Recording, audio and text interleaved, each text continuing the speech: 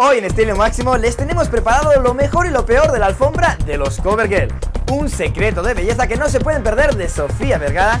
¿Cuál es el mejor zapato para usar de acuerdo a su tipo de cuerpo? Y una consulta de ustedes acerca de cómo renovar su vestuario en este 2011.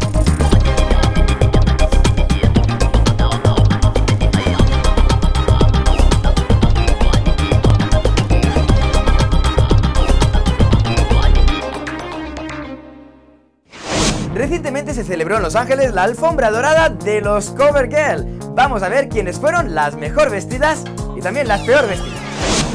Entre los mejor vestidos de la alfombra dorada tenemos a la mexicana Ana de la Reguera que se lució con un estilo de los años 50, un vestido estampado que le favorece muchísimo en tonos blanco y negro.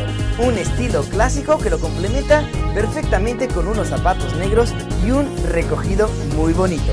Otra de las mejor vestidas de la noche fue Virginia Williams con un vestido en pedrería muy corto. Sin embargo, el detalle no lo llevaba en el escote en la parte frontal, sino en su espalda. Supo lucirlo recogiéndose el cabello y por supuesto con unos taconazos. Sin embargo, la mejor vestida de la noche en mi opinión fue Dania Ramírez que se lució con un vestido strapless en negro que le resaltaba completamente su figura. Ella supo saber escoger perfectamente los accesorios, llamando la atención en su bolso tipo sobre. Y entre las peores vestidas de la noche tenemos a Rabon Simon, que a pesar de que quiso lucir escote, se tapó súper demasiado y más que ir vestida a una alfombra, parecía que fuera completamente una pirata. Una de las mujeres en el cual el negro realmente no le favoreció para nada. Una belleza de la noche es Drew Barrymore. Sin embargo, a pesar de que escogió un color muy favorecedor y el estilo de pelo estaba muy bien, no lo supo lucir porque el vestido tenía un detalle que le hacía una especie de globo a la altura de la rodilla. Por eso, aunque me gustó el color, no me gustó como el vestido le quedó con su tipo de cuerpo. Y una de las peor vestidas de la noche, a pesar de que esta mujer sabe perfectamente cómo vestir de acuerdo a su tipo de cuerpo, es Queen Latifah. Escogió un saco tipo smoking con un corsé y lo combinó con unos pantalones un poquito demasiados entallados y unos zapatos muy deportivos para la ocasión. Sin embargo, yo creo que el peor error fue ponerse sus espejuelos de sol en una alfombra dorada. Y otra de las mujeres que se lucieron en la alfombra dorada fue nuestra amiga Sofía Vergara, que lució espectacular completamente en negro. Realmente lo que nos sorprendió fue que nos dijo cuando le preguntamos cómo se cuidaba ese cuerpo. Presta mucha atención a los secretos de belleza de las estrellas de Hollywood. ¿Qué consiste la dieta de Sofía Vergara? ¿Pollo de yuca o arepa con huevo? De las dos cosas. What beauty tip would you give to the women out there who are watching us to look like a cover girl every that every part of beauty comes from within. That's all people know is what you tell them, what you feel inside, that's what comes out. Hoy en De la Moda Lo que te acomoda les tengo preparado una información muy importante acerca de los zapatos. Quizás el mejor accesorio para las mujeres porque automáticamente tú puedes lucir más alta y estilizada si buscas un zapato de tacón adecuado durante el día de la noche. Presta mucha atención a los consejos prácticos que te voy a dar. El mejor amigo de las mujeres, para mí personalmente, es el zapato. Un accesorio que te permite no solamente estar a la última moda, sin embargo te puede estilizar tu imagen. Por ejemplo, durante el día un zapato clásico terminado en punta, en el cual tiene totalmente el empeine limpio, te va a poder ayudar a lucir estilizada. Si utilizas un zapato marrón y el marrón tiene algún tipo de metal o hebilla, es importante que combines el resto de tus joyas del mismo color que tiene la hebilla en el zapato. Uno de los zapatos de temporada en el 2011 va a ser los de tipo wedge. Mucho cuidado si tú eres bajita y utilizas un zapato en el cual tengas una tira por delante del tobillo porque te va a hacer lucir más bajita.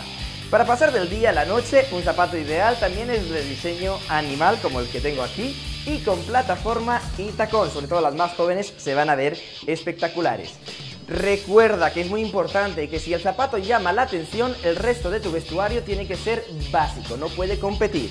Aquí tenemos un zapato en color piel y un zapato negro clásico que te puede servir para todo. En este caso es un poquito de raso, con lo cual lo hace muy elegante. Aquí les tengo un ejemplo con un poco de brillantes. Si el zapato llama la atención, el vestido tiene que ser sencillo y simple. Toma en cuenta estos tres últimos consejos a la hora de comprar los zapatos. Primero, asegúrate de probarlo sobre suelo duro cuando te vayas a probar un zapato para asegurarte que es bien cómodo.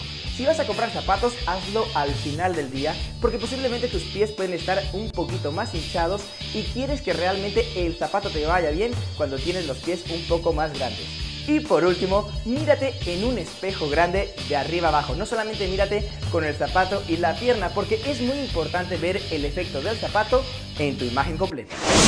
Y llegó mi momento favorito, el momento en el cual le contesto vuestras preguntas. Hoy el turno le tocó a Luisa Moreno desde Miami. Hola Martín, quiero empezar una nueva vida este año, mirarme al espejo y ver a otra persona. ¿Qué debo hacer con mi closet y mi ropa? ¿Será que regalo todo y empiezo de nuevo? ¿Qué debo guardar?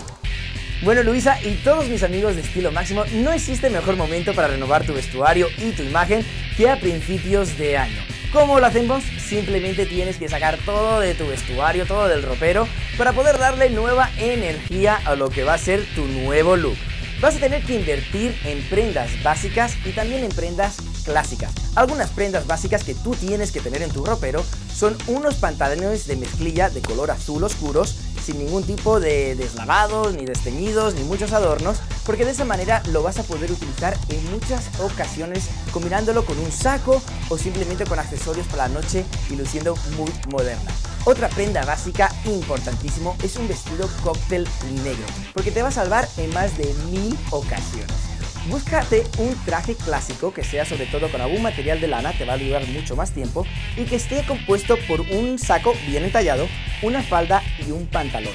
Bueno amigos, si tienes una pregunta ya sabes lo que tienes que hacer, solamente tienes que meterte en terra.com, en el canal Mujer Mejora tu Estilo, y ahí vas a ver la sección de qué vestir con Martín Llorens. Va a haber una sección donde pone consultas y ahí me puedes preguntar todo lo que tú deseas. Algunas las contestaré por internet y otras aquí en estilo máximo.